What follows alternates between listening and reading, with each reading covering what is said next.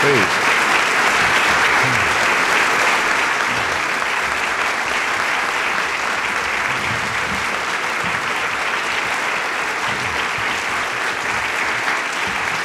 Thank you very much. Thank you.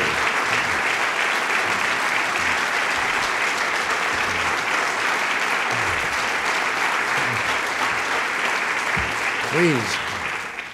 Thank you very much. You're probably wondering why I asked you all here. That's an old line. The only line that I had to say more often than that back in those early days in Hollywood was Give me the city desk, I got a story that'll crack this town wide open. and seeing all of you here left me with an unaccustomed loss of words. The last staff meeting I attended this large was Pat O'Brien's halftime talk in Knute Rockne All American. yeah. Come to think of it, some of that old Rockne spirit is just what we need today because Ladies and gentlemen, it's halftime, and to a great extent, the rest of our season depends on how well you and I perform when we leave here in a few minutes. I'll be the first to agree that thanks to the support of the American people and of the people gathered here today, all of you, this fan, in this fancier than usual locker room, we've had a pretty good opening half. We've pulled America back from the edge of economic disaster, got our economy growing again and renewed her confidence and spirit. Let's not take any of these accomplishments for granted, though. I don't think history will. Believe me, sitting in the Oval Office for a few years is a good way to fully realize the enormous momentum towards spending growth, tax increases, and higher deficits that were built up over many decades.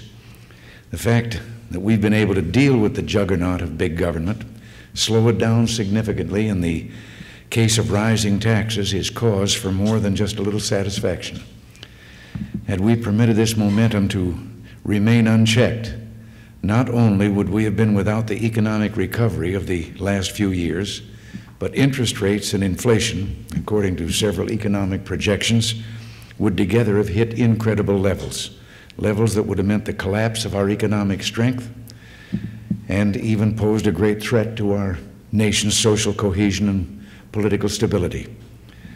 So, yes, we can take some satisfaction that we don't have to deal with now with what might have been.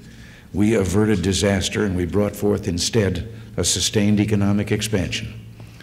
But the task before us is still sizable to consolidate our gains to get on with the business of ensuring economic growth and prosperity for the rest of this decade and well beyond that.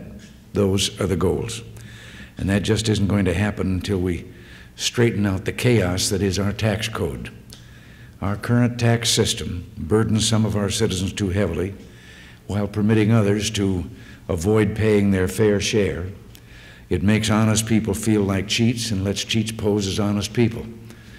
It encourages the underground economy, wastes millions of man hours on needless paperwork and regulations, and it drives money needed for growth and investment and jobs into unproductive tax shelters. It acts as one of the single biggest obstacles to enterprise and economic expansion. To put it simply, our tax system is unfair, inequitable, counterproductive, and all but incomprehensible. So we're here today for one reason to carry out the rest of our economic game plan for America. We're determined to stop the trauma of April 15th by ending the nightmare of tangled requirements and complicated rules that every American faces at income tax time. We have it within our power to simplify the tax code, to stimulate growth, to strengthen families, to promote family values, and to keep the American economy expanding we have it within our power to simplify the tax code and to do it this year. I'll be talking on the air tonight about the details of our plan.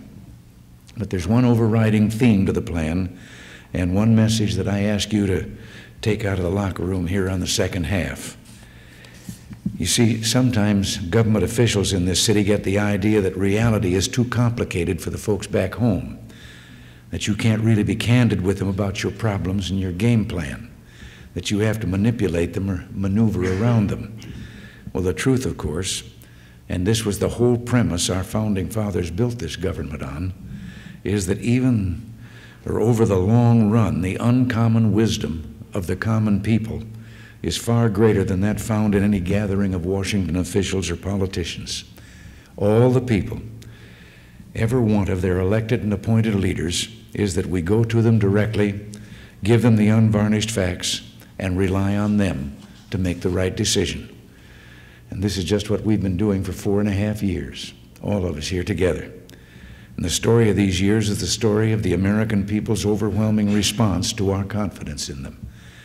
They've supported us because they detected the ever present undertone, the basic premise behind all the things we said and did that we believe, with the founding fathers, that America's greatness and her economic and social progress come from the people and not, not the artful dodgers who too often bring forth stultifying monsters like our present tax code.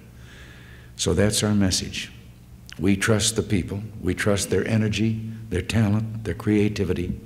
We trust them with the American economy, with our future and our country. And here's our message about this tax program.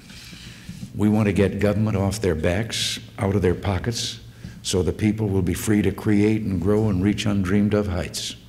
We want to liberate the American people, turn them loose, and spark their collective genius for enterprise and innovation.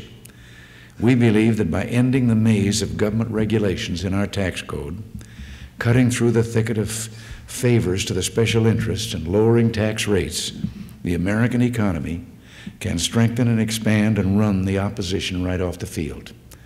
Franklin Roosevelt called America the land of unending challenge. And Winston Churchill said of us, the tenacity, the willpower, and self devotion of her people are endless. Well, I believe that, and I'm sure you believe that. There's a championship game at stake, so let's go, team. At this time, it isn't just the Gipper we're going to win this one for. We're going to win it for the people who sent us here, who believe in us, just as we believe in them. This fight for tax reform is for them, it's for their future and for their children's future. So keep that in mind out there on the mashed potato circuit and from here on out, and we'll get this passed this year. I can't resist having open mentioning Knute Rockne and that era. I don't know if any of you are old enough to remember when he was the great genius of football in this country. But one story that I always treasured, he always seemed to have that knack of saying the thing made everything go right.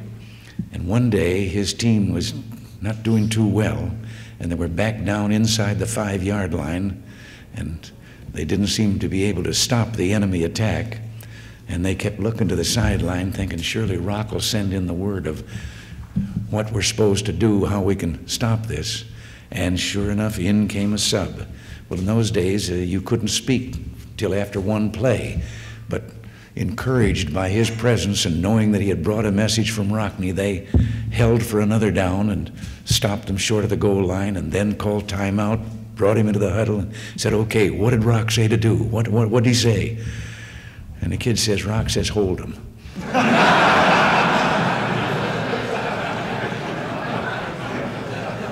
They all looked at each other and they let out one whoop and they knew he'd told them that's all they had to do. And they went up and stopped him, took over the ball. so uh, let's, let's hold him. Thanks, all of you. Thanks for being here. God bless you.